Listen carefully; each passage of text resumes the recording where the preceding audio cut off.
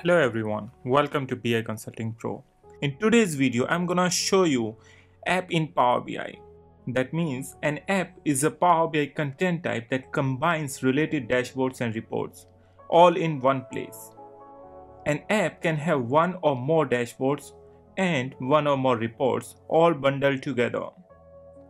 Apps are created by Power BI designers who distribute and share the apps with their colleagues. There are many different ways a designer can share an app and in this video I'm gonna show you how to create an app, how to maintain it and how to use it. So enough all the talkings, let's get started.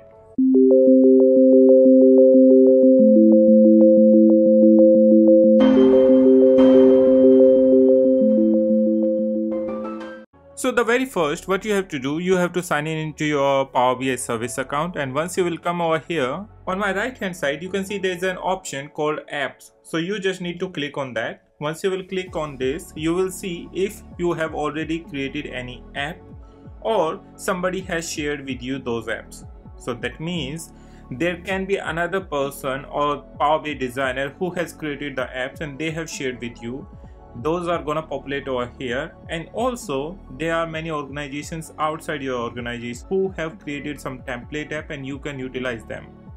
Simply what you have to do you have to come over here and click on get apps. Once you will click on get apps you will see this kind of window where you will find different kinds of apps whether it's a linkedin nfl or maybe youtube analytics etc you have to just click on any of those. Once you are gonna click it start loading automatically and then you can click get it now.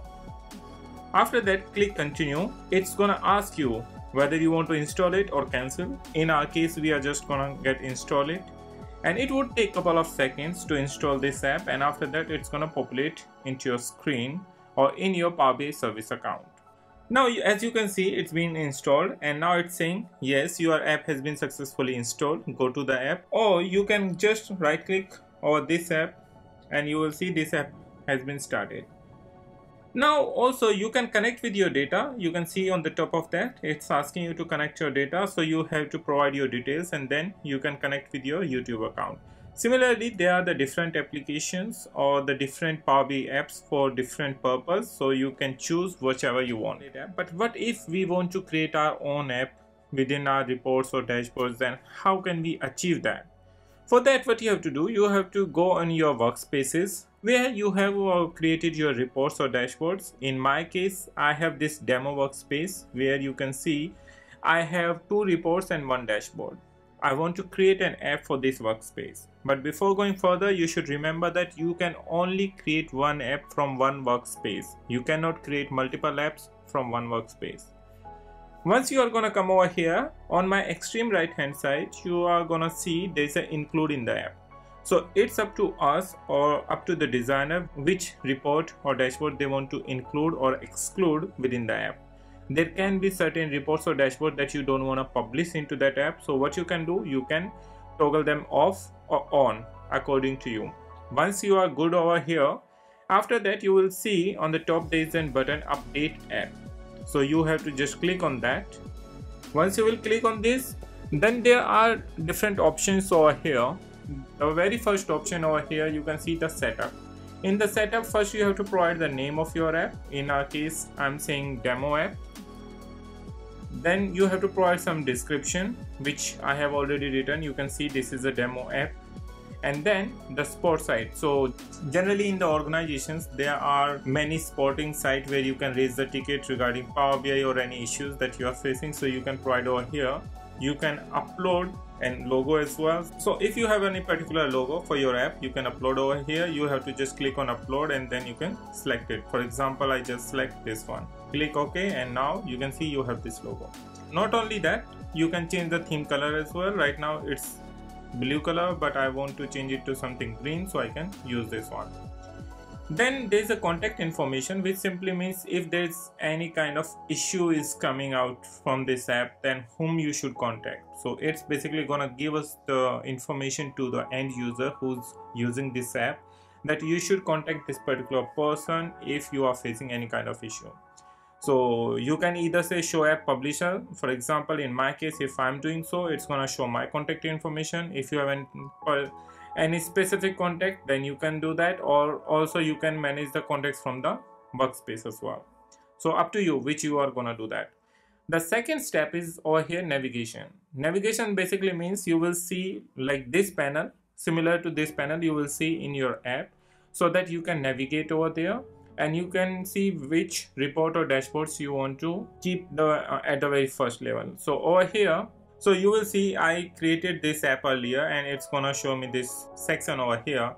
What you can do first you are gonna see automatically whichever reports and dashboards you have they are gonna publish over here. So in my case this is my dashboard then followed by my reports also i have added two sections over here.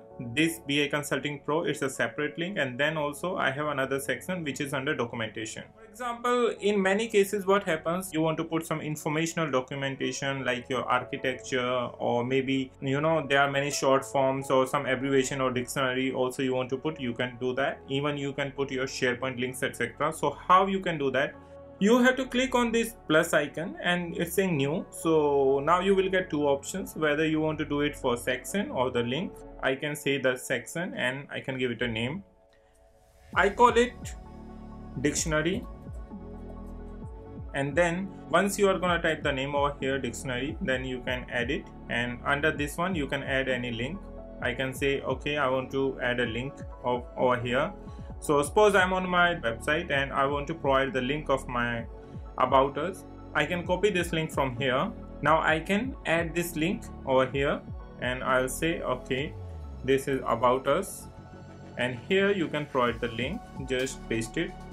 Then you will get some options whether you want to open in the current tab you want to in the current content area or the new tab so new tab means simply it's gonna open another tab into your browser. Current tab means in the current tab itself it's gonna open or the content area means the same app area it can open. So in case of content area you should always remember that it can only open in the content area if you have certain permissions. If don't then you won't be able to open that. Generally it requires some authentications but if not then definitely you can open that. So let's say content area and we'll see whether it's gonna appear there or not and similarly I earlier I created one uh, section over here which is documentation. In documentation I have given just the Power BI link. Or you can even change it to Power BI documentations which I'm gonna do over here.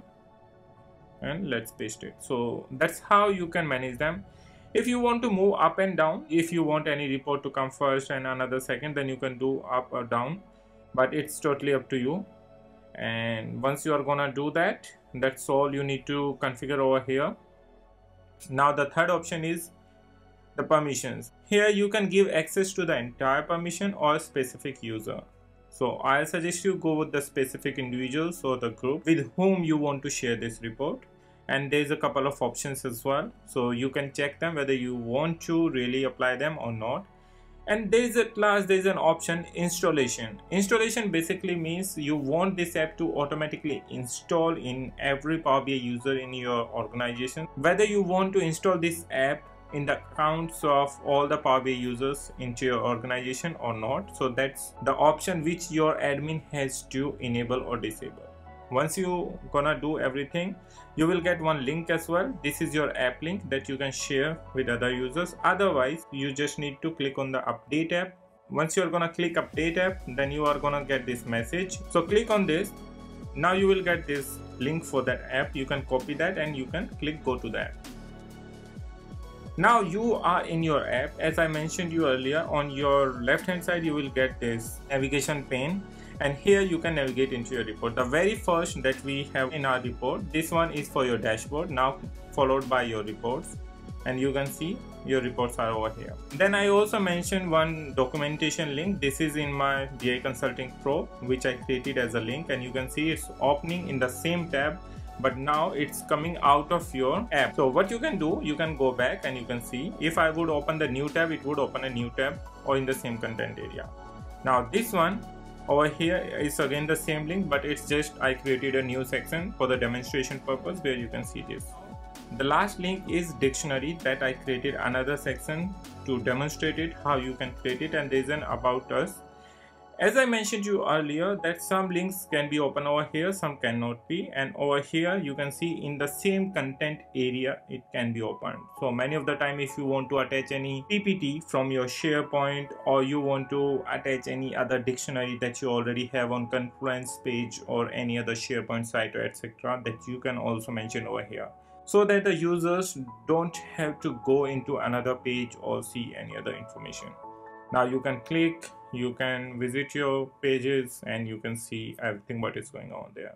Before ending this session i would like to say whenever you have to share your any report or dashboard then i strongly recommend you to always use the apps in power bi reason being when you are sharing your reports and dashboard through app you just need to provide permission on the app not on the dataset or on the workspaces this is going to help you to maintain your Power BI reports and also it's a secure way to share with your users. So that was the complete introduction to the apps in Power BI where we have seen what is an app in Power BI, how you can use it, what is an app designer and the app users and what are the advantages of an app. If you have any questions or concerns, please do let us know in the comment section and stay tuned for more updates.